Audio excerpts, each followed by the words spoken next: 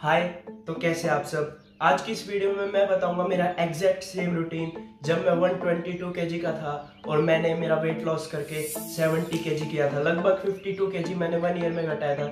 तब मैंने क्या क्या वर्कआउट किया था, मैंने क्या डाइट ली थी, मैंने क्या सप्लीमेंट लिए थे।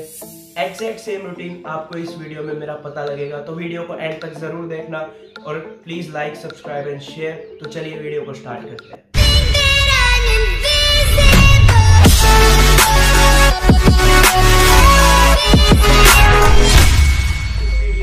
मैं ज़्यादा लंबी नहीं बनाऊँगा।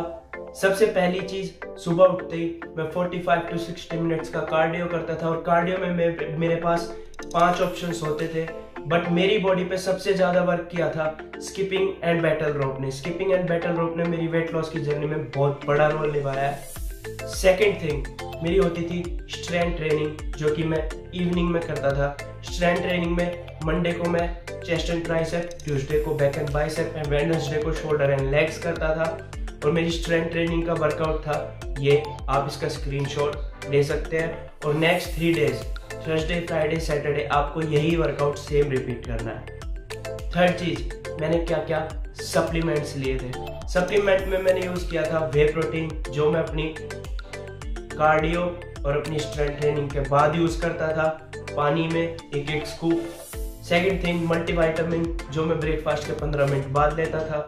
थर्ड चीज़ है फ़िश ऑयल जिसका एक कैप्सूल में लेता था मल्टीवाइटामिन के साथ। और ब्रेकफास्ट के पंद्रह मिनट बाद और एक लेता था मैं बिफोर बेड एंड फोर्थ चीज़ होती थी अपनी बी सी डबल जो कि मैं इंट्रा वर्कआउट यूज़ करता था। सबसे मेन चीज़ आती है आपकी डाइट ये है अपनी डाइट इसका आप स्क्रीनशॉट ले सकते हैं। ये मेरी फ़र्स्ट मंथ की डाइट थी। सेकेंड मंथ की डाइट मैं नेक्स्ट मंथ आपको अपडेट दे दूँगा। मैं नेक्स्ट मंथ एक नई वीडियो बनाऊँगा, जिसमें मेरा सेकेंड मंथ का वर्कआउट और सेकेंड मंथ की डाइट रहेगी। अगर आपको सेकेंड पार्ट चाहिए तो आप कमेंट सेक्शन में ज़रूर बता सकते हैं। तो ये थी आज की वीडियो। अगर आपको वीडियो अच्छी लगी हो तो वीडियो को लाइक करना शेयर करना, चैनल को सब्सक्राइब करना और बेल आइकन ज़रूर दबाना।